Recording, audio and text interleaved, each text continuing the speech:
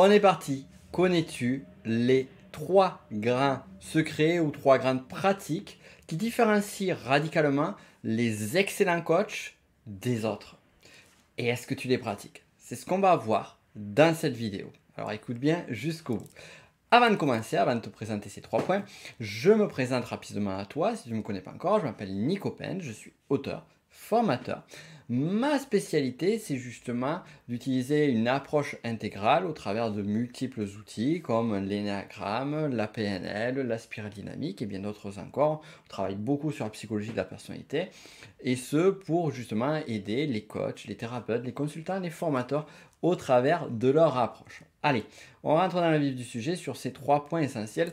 Le premier d'entre eux, celui-là, c'est celui qui normalement, normalement tu dois appliquer. Que tu sois excellent coach ou coach, on va dire, normal, tu dois le faire. C'est le fait de bien dissocier toi et la personne qui est en face de toi.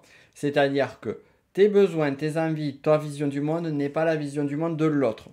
Alors ça, ça semble évident. On a euh, avec un présupposé qu'on retrouve euh, en PNL et dans d'autres domaines qui viennent de la linguistique, qui est la carte n'est pas le territoire. La vision de la réalité n'est pas la réalité. Ça vaut pour soi et ça vaut pour l'autre.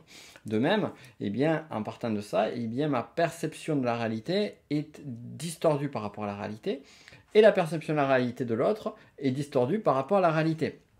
Donc, déjà, quand j'ai face à moi une personne en accompagnement, eh bien, je sais que on ne parle pas le même langage. Il suffit de regarder le type de personnalité de chacun, il suffit de regarder le niveau sur spirale dynamique de chacun, le niveau d'évolution, le, système de valeurs qui est fondamental pour chacun d'entre eux, pour se rendre compte que on n'est pas sous le même paradigme. Mais très souvent, on va voir une problématique qui va être présente chez un client et ça va vibrer par rapport à des choses qu'on a déjà vécues. Donc on se dit, j'ai déjà vécu ça, je connais cette problématique-là, je l'ai résolue, je vais aider la personne de la même façon que j'ai résolu.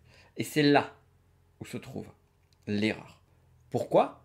Parce que c'est pas parce que toi tu l'as résolu avec tes compétences, tes capacités, ton mode de fonctionnement que ça va fonctionner pour l'autre. Donc déjà, on voit que la méthodologie ne va pas forcément fonctionner de la même façon pour l'un et pour l'autre. De même, ça ne va pas dire que parce que le problème affiché, et ça on va en venir justement au second secret, le problème affiché semble être identique au tien, qu'il l'est. Et donc, ça me fait vraiment le point numéro 2. Avant, je te rappelle le point numéro 1, c'est que, eh bien, ton client, ce n'est pas toi, et ta perception de la réalité est différente de la perception de la réalité de ton client. Donc, vraiment apprendre à s'adapter à l'autre et éviter au maximum les transpositions, sachant qu'on en fera toujours. Ça, c'est clair. Point numéro 2, eh bien, ton client ne n'a pas conscience véritablement du vrai problème. C'est-à-dire qu'une personne va venir te voir et va te présenter une problématique donnée. Par exemple, je veux changer de carrière, je veux euh, trouver l'âme sœur, et ainsi de suite. Tout dépend de ton domaine d'expertise et le sujet en question. Sauf que ça, c'est le problème de surface, j'ai envie de dire. C'est les besoins de surface. Mais le besoin profond, ou les besoins profonds qui sont cachés derrière, eh bien, cela, il faut aller les creuser. Et donc, la clé, c'est toujours partir du principe que ce que pense savoir, ce, que la, ce que la personne croit avoir besoin et ce dont la personne a véritablement besoin, ce sont deux choses différentes. Pour t'aider, une phrase qui est géniale, que j'ai souvent posée en coaching. Une personne te dit par exemple, euh, dire, un sujet sur lequel j'ai bossé, un coaching business dit ben ouais, je suis pas satisfait, euh, je fais pas le chiffre d'affaires que je voudrais faire. Bon, mais ok, là tu vois le problème de la personne, tu dis bon, ben voilà, je vais l'aider à augmenter son chiffre d'affaires. Ben en fait, c'est là où on fait l'erreur. Et c'est là où vient la question magique. Tu lui poses la question, tu dis en quoi est-ce un problème pour toi? En quoi est-ce un problème pour toi de euh, ne pas atteindre ce chiffre d'affaires? Et là, en fait, ça va perturber la personne parce que déjà, on part du principe que ben, si ce problème est affiché, c'est qu'il est évident. Peut-être, mais ça va pas forcément être évident pour tout le monde. Et de même, ça va permettre d'aller creuser en fond qu'est-ce qui se joue véritablement? Et là, tu te rendras compte que le problème est très différent.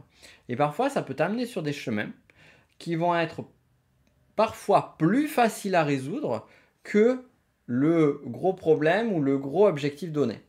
on a tendance très vite à se faire happer, on a tendance très vite à se faire euh, embarquer par euh, finalement la, le, l'inquiétude, la préoccupation du moment. Et on oublie de prendre la perspective, de prendre de la hauteur.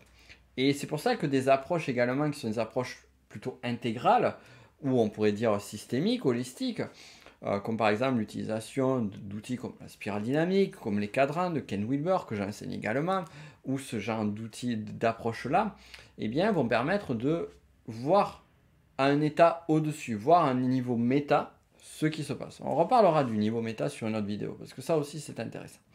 Et enfin, le troisième et dernier point, pareil, celui-là, il est souvent oublié, mais un excellent coach ne l'oublie jamais, c'est que tout ce que tu as appris, tout ce qu'on t'a enseigné, tes méthodes, tes outils, ta pratique, c'est pas pour ça qu'une personne vient te voir. Et ce n'est même, j'ai envie de dire, pas important en tant que tel. Tout ce que tu as appris et les méthodologies que tu utilises ne sont que des moyens ce sont des moyens qui permettent d'atteindre une fin. Et c'est là où justement, lorsque tu as une richesse d'outils, une richesse de pratiques, eh bien tu sauras que lorsque tu as une personne en face, eh bien peut-être que du questionnement sera suffisant. Et tu diras, ah ben tiens, c'est dommage, j'ai des outils en PNL, je me suis formé en analyse transactionnelle, je me suis formé, euh, par exemple, on pourrait dire à l'énéagramme, euh, ou fleur de bac, ou bien d'autres choses encore.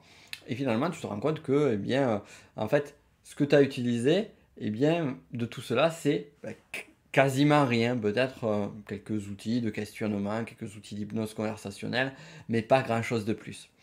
Et, ça, en fait, bien souvent, un coach qui n'est pas un excellent coach va justement se sentir mal à l'aise parce qu'il se dit la personne vient me paye pour un service, donc s'il me paye pour un service, je dois utiliser les outils que j'ai en place. Mais parfois, c'est arrivé à un état où finalement tu vas prendre un tank pour ouvrir une porte. Alors qu'il suffit juste d'ouvrir la serrure ou peut-être de forcer un petit peu, je ne sais pas. Mais euh, en tout cas, de pas, pas aller chercher ton, ton tank et ton artillerie lourde. C'est pas nécessaire. En plus, après, il faudra remplacer la porte une fois que tu as pété avec le tank. Et à mon avis, tu as fait des dégâts sur le mur. Donc, c'est ça qui, qui, est, fondamental. Alors, je répète rapidement ces trois points pour qu'ils soient bien ancrés à l'intérieur de toi. Les trois points. Premier point, c'est vraiment conscience. La carte n'est pas le territoire, mais de façon générale, ma perception de la réalité n'est pas la même perception de la réalité de, l'autre. Je suis différent de mon client, je dois vraiment aborder celui-ci de façon très dissociée de qui je suis, pour le dire en d'autres termes. Point numéro 2, mon client ne connaît pas véritablement ses vrais besoins, ses vrais problèmes. Ce qu'il va me montrer, ce seront plutôt des problèmes de surface, des besoins de surface. Et enfin, le troisième et dernier point, et non des moindres, ma pratique n'est qu'un moyen. Mes outils, mes pratiques ne sont que des moyens. C'est pas ça qui est important.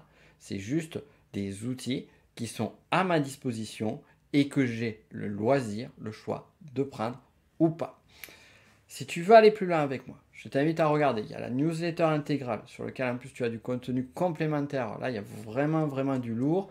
Euh, tu pourras recevoir d'autres conseils complémentaires, dont notamment des conseils à off que je ne diffuse pas sur YouTube ou sur les réseaux. Euh, tu auras aussi également accès à mes masterclass privées. Donc ça, ça vaut quand même de l'or. Généralement, j'en fais une par mois et qui dure un peu plus d'une heure, donc c'est qualitatif.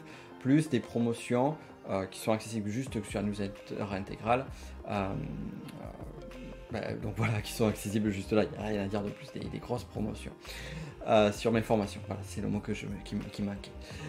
sur ce, je t'invite à t'abonner à cette chaîne si tu as aimé cette vidéo pour avoir d'autres contenus sur ce sujet-là. Et je te souhaite le meilleur dans ton inconvénient. A très vite. Ciao